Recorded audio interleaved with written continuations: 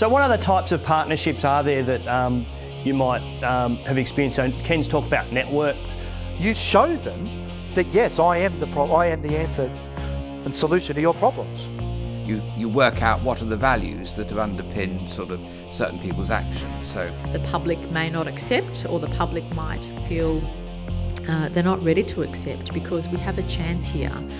So these are just a list of the main on-site educator-led programs. So the ones where myself or other people deliver. Um, structured and follow throughs. Remember, you're always making sale. Although you're not making the big sale, every small sale leads to a complex sale. Yeah? Okay, then let's go in with that. I'm going to refer back to your core motivation. most people will have written down something that is actually really important to them.